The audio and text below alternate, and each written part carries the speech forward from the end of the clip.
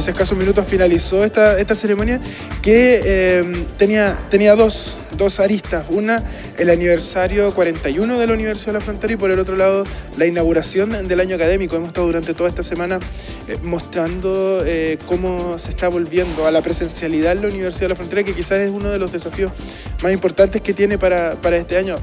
Es algo que nos ha generado la pandemia, Miguel Ángel, y que lo hemos podido presenciar, que se ha vuelto un desafío esto de volver de manera presencial luego de estar eh, más de un año y medio, casi dos años, eh, con, todo de manera virtual.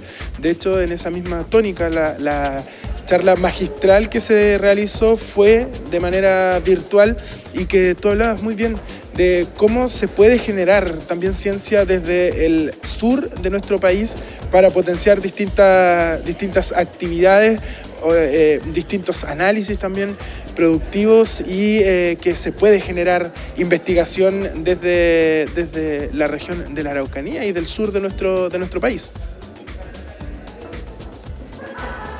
Eh, de esta manera, también nuestro país entiende y el mundo en general que hacer ciencia, hacer investigación, en definitiva, estar ahí al pie de lo que es la educación, no solo se puede hacer desde las grandes capitales, no solo está eh, en el otro lado del, planeta, también en un país tan pequeño como Chile y en un rincón eh, apartado, eh, también se hace esfuerzo, como lo hacen también los profesionales académicos e investigadores de nuestra universidad, Carlos. Sí, efectivamente, Miguel Ángel. Eh, quizás ha sido una de, las cosas que más ha costado en el último tiempo, que tiene que ver mucho con el centralismo que, existe también a nivel académico. Y el cortar esas brechas es muy, muy importante.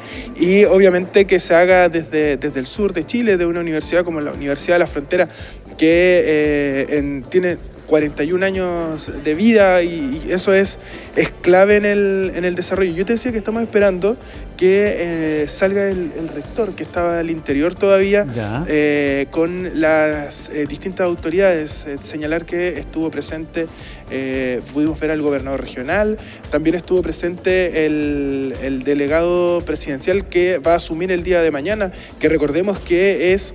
Eh, académico de la Universidad de la Frontera, Raúl Alard, estuvo presente. Eh, él se, retiró un poquito antes porque de hecho ya lo conversábamos. Mañana va a hablar con, con los medios a eso del mediodía. Se espera que sea a eso de las 13 horas, por lo que nos han comentado esa, esa actividad Miguel Ángel, y eh, fueron algunas de las autoridades que estuvieron presentes, además de rectores de otras casas de estudio que eh, también asistieron a esta ceremonia de aniversario e inauguración del año académico de la Universidad de la Frontera.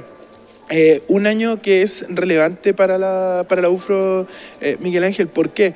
Porque comienza el proceso ya de una nueva acreditación. Eh, y recordemos que en el último proceso la UFRO obtuvo seis años de acreditación institucional y se apunta a llegar a, a, la máxima acreditación que son de siete años. Entonces, este proceso que se va a comenzar a vivir ya durante este año es bastante relevante. Ahí viene el, el rector Eduardo Hebel ahí para poder conversar con, él, agradecer a, los colegas de, comunicaciones que nos están ayudando con la, con la producción, eh, para poder hablar con, el rector, eh, con quien esta semana hemos, hemos tenido harta, hartas conversaciones en distintas actividades que se han ido desarrollando. Una semana especial porque, eh, como te decía anteriormente, está marcada por el regreso presencial de los estudiantes a la Universidad de la Frontera y como te digo, eh, este es un año clave en materia de la acreditación porque comienza el proceso.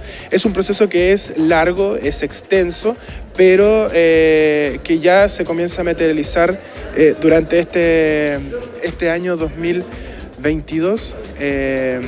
y ahí viene el rector despidiéndose todavía de, algunas de las personas que están. Rector, ¿cómo está? Estamos en vivo y en directo en, en este momento a través de Araucanía 360. Eh, una ceremonia, lo veíamos, estaba ahí felicitando a la gente, pero una ceremonia que necesita de, hartas personas para poder eh, desarrollarse, eh, no es menor. Se inaugura el año académico, pero también un, nuevo aniversario de la Universidad de la Frontera.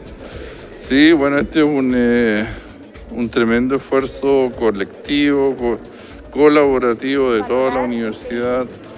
Aquí hay mucho trabajo detrás de este de, este, de, todo lo que se hizo. Eh, en primer lugar, eh, felicitar a Magia Chilena por su presentación. Eh, bueno, yo en mi discurso yo di las grandes directrices que es lo que nos, no, nos va a motivar a realizar este año. el haber entregado el premio de excelencia académica a Berta Schnettler realmente eh, a nosotros nos llena de orgullo académicos de ese nivel, por lo tanto, eh, muy bien eh, que, ella haya sido la acreedora de ese premio en este año. Y la, presentación, la charla magistral de Ricardo Rossi, que es un investigador de la Universidad de Magallanes, pero también investigador de la Universidad de Texas, realmente brillante, su mirada, de cómo eh, nosotros tenemos que eh, en, hacer esfuerzos individuales y colectivos para la, preservación del medio ambiente, para la sustentabilidad y, la verdad que hay muchas cosas por hacer, por lo tanto eh, los conceptos que él nos ha entregado, especialmente desde el punto de vista de la ética con respecto al medio ambiente, eh, es fundamental. Yo estoy muy conforme eh, con este acto que acaba de finalizar. Es el acto del inicio del año académico y también eh, tiene que ver con los 41 años de la universidad que recién estamos empezando.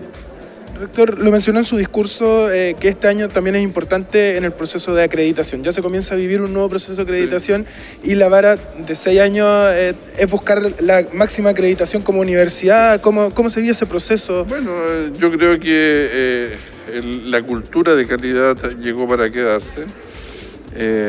yo lo que yo también quiero cambiar que aquí hay una de una cultura que uno ve la calidad desde un poco de lejos, así que, que, que las carreras estén acreditadas o que los posgrados estén acreditados. No, la, la, calidad tiene que estar inserta en sí mismo. Es decir, cada uno de nosotros eh, tenemos que tener una cultura de calidad porque de esa manera los procesos van a ser mucho más fluidos, los procesos van a ser mucho más conscientes y los procesos van a ser mucho más evidentes para la mejoría de la calidad de nuestra universidad, dar un mejor eh, cada vez mejor un pregrado, cada vez mejor el posgrado, tener una investigación cada vez más relevante a nivel local y nacional e internacional, una vinculación con el medio que realmente eh, sea los ojos que nos miran hacia la universidad y nosotros miramos también a la región y al país y al mundo.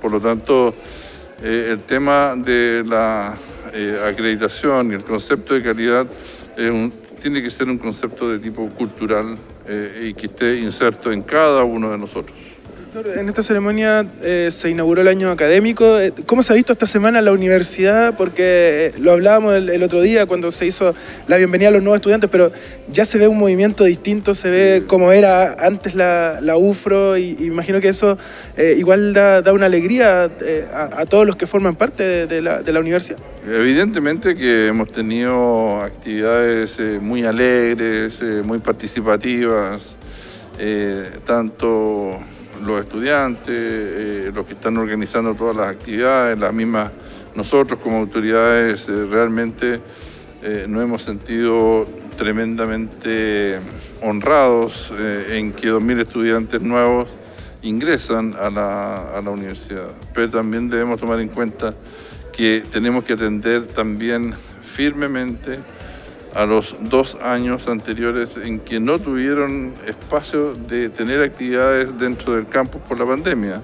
Por lo tanto, lo que yo he manifestado que tenemos tres generaciones mechonas eh, que ingresan por primera vez al campus en el, sentido de tener vida eh, universitaria. Aquí no solamente se vienen a formar eh, buenos profesionales, sino que también queremos formar buenas personas queremos formar profesionales que estén comprometidos eh, con lo que hacen, eh, estén comprometidos con el territorio, con la región eh, y con el país en su totalidad. Por lo tanto, estamos muy contentos de la presencialidad, de ver al otro en persona y poder interactuar y de esa manera de tener una actitud mucho más concatenada con la realidad. Último, rector, durante la actividad se mencionó eh, mucho el hacer investigación desde el sur de Chile. Eh, la Universidad de la Frontera ha estado trabajando en distintas áreas con otras universidades, eh, formando trabajos colaborativos, justamente para eso, para desarrollar investigaciones descentralizando un poquito el mundo académico que también ha sido bastante descentralizado. Sí, nosotros, bueno, estamos teniendo convenios con, con, muchas universidades de, Temuco al sur, yo estoy hablando de la Universidad de los Lagos, la Universidad Austral, la, Universidad de Aysén, la Universidad de Magallanes. Eh, también eh, nos interesa y vamos, estamos trabajando con eh, el conferencista, con Ricardo Rossi, que es un realmente es un excepcional investigador de todo lo que significa la zona subantártica, por lo tanto aquí hay mucho que investigar, mucho que aprender y mucho que entregarle al mundo desde el sur de Chile. Muchísimas gracias, rector, que esté muy bien. Ya pues, muchas gracias a ustedes también y muchas gracias también por Carlos. la cobertura que ustedes han dado a todos estos días de las actividades que hemos eh, realizado tanto a nivel de los estudiantes como en la inauguración del año académico. Dame un segundito que mi colega de estudio me quiere hacer una consulta para, usted. ¿Te escucho, Miguel Ángel? No, sí, una curiosidad nomás. Esa medalla que lleva el rector eh, se entregó en esta ceremonia. ¿De qué se trata? Cuéntenos. Ah, no, me pregunta por la medalla que anda, que anda trayendo usted. Ah, esta es una medalla especial que la tengo solamente yo, que solamente la usa el rector. es, es decir, el día de mañana hay otro rector, yo le traspaso esta medalla al nuevo rector. Ah, mire. Ah, perfecto, es importante ahí que eso, para ceremonias especiales. Para ceremonias especiales, exactamente. Esto no es un premio, sino que es como el símbolo del poder del rector. Por ejemplo, en, el caso de lo que lo vamos a ver mañana, el presidente, que la banda es algo similar. Exactamente, así es, lo mismo. Perfecto, doctor. Muchísimas gracias, que estemos Ya pues, hasta luego. Ahí conversábamos con el rector de la Universidad de la Frontera, Eduardo Gebel. Sí, todos los días se aprende algo importante. ¿eh? Mira, yo no me había percatado en el, en el detalle, pero muy bien lo que, lo que...